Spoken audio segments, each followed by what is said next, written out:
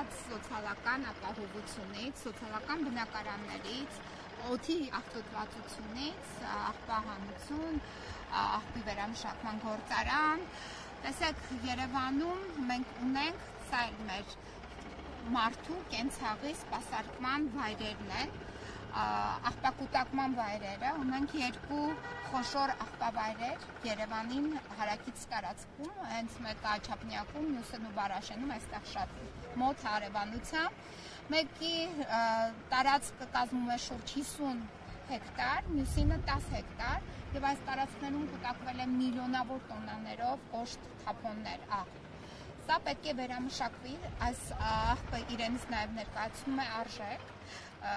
եւ արժեքի նաեւ տեսանկյունից շահութաբեր է հետ հետեւաբար սրանք մեր նաեւ ուշադրության կենտրոնում են Մյուսը դա մեր գերեզմանատներն են։ Երևանում գործում է 21 գերեզմանատուն եւ այդ 21 գերեզմանատունը նույնպես պահանջում է նաեւ հատուկ խնամք եւ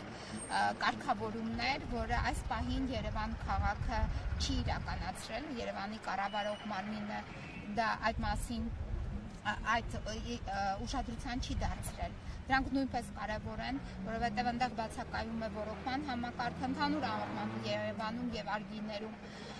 ռոռոկման համակարգը գտնվում է անմխիթար վիճակի մեջ, ռոռոկումը նույնպես մեր խնդիրների մեջ է մտնում եւ նաեւ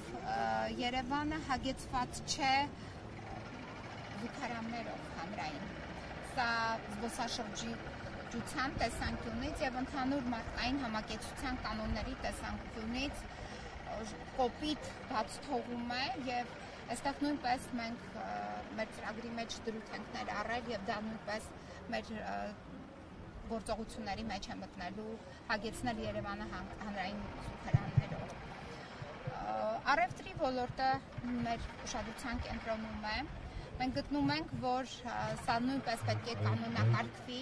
առանց ավելնորդ սոցիալական լարվածություն ստեղծելով կայանատեղիները նախատեսված եւ չնախատեսված, որոնք հիմք են դարձել խցանումների եւ օթի աղտոտվածության բոլոր հարցերը մեր ծրագիրը, որը կազմում է շուրջ 30 էջ եւ սեղմագիրը 19 կետից անդրադարձ է կատարում այս ամենին։ Ես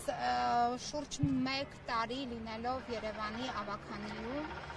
ամբողջ համակարգը լավագույնս ուսումնասիրել եմ եւ կառավարման համակարգը եւ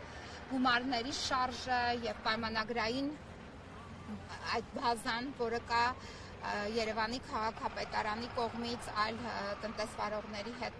համ գործնեության վերաբերյալ այս պայմանագրերը թեպետ կնքվել են, բայց պայմանագրերի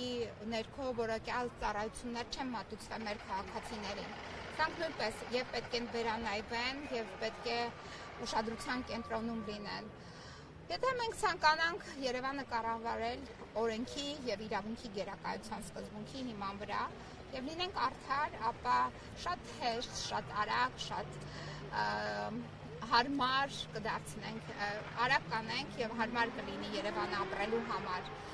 Երբ ես ուսումնասիրում եմ Թամանյանի արխիվը, մի գրքույկ է հրապարակել, հրապարակված, մեծ հաստ գիրք է, գրքույկ չէ, գիրք է, որտեղ ամբողջ գրեթե ամբողջ արխիվն է Թամանյանի եւ Թամանյանի նույնպես հեշտ չի եղել կառուցել այսպիսի Երևան մեր համար։ Եվ այն ժամանակ ինքը որ կառուցում էր Երևանը, չէր պատկերացնի, որ կարող է հիմքը դնել եւ այնպիսի հատակագից մշակել, որը լինի իրապես արժեք։ Եվ Երևանը նրա աչքերի արչև մի սերունդի աչքերի արչև միանգամից վերափոխվում է դառնում է ժամանակակից հայկական քաղաք մինչդեռ այդ ժամանակ որ ինքը նախագծում էր Երևանը Երևանը կրում էր իր մեջ բարսկական եւ ռուսական այդ ճարտարապետական մշակույթը բայց նա փոխեց վերափոխեց մեր համար կառուցեց հիմնադրեց այս քաղաքը մենք հեռացանք մի պա նրա դիմագծից բայց դա ոչինչ չի նշանակում մենք կարող ենք վերադարձնել այն դիմագիծը որը նա մեզ փոխանցել էր ձեր շանսերը ինչպես գնահատում ասացությունը մեր քաղաքացիների մեր քաղաքացիները կարող են եւ հնարավորություն ունեն այս ընտրությունների միջոցով ունենալ իրենց համար ծա- ծառայող քաղաքային իշխանություն։ Ես այսպես եմ գնահատում։ Եթե կցանկանան, որպեսի իրենց ծառայեն, ապա այդ ծառայությունը ես կանցնելու եմ։ Տիկին